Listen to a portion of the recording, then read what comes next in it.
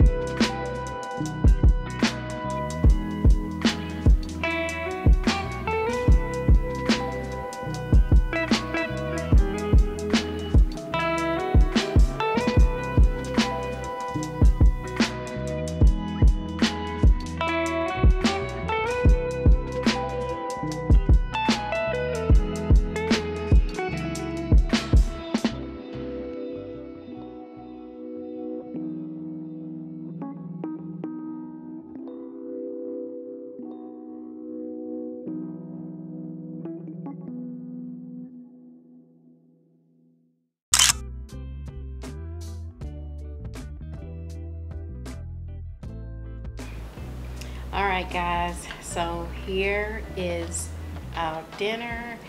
We have, remember, the honey garlic pork rib tips. And I paired it with the double stuffed twice baked potato and side of broccoli.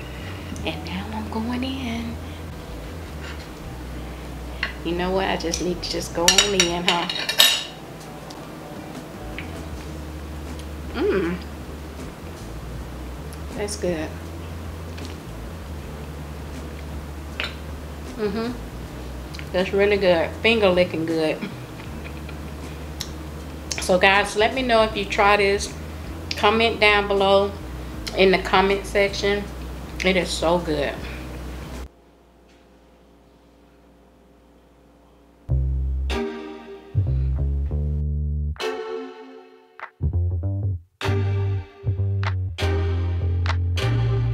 너의 중요하다는 words It's for you It's all for you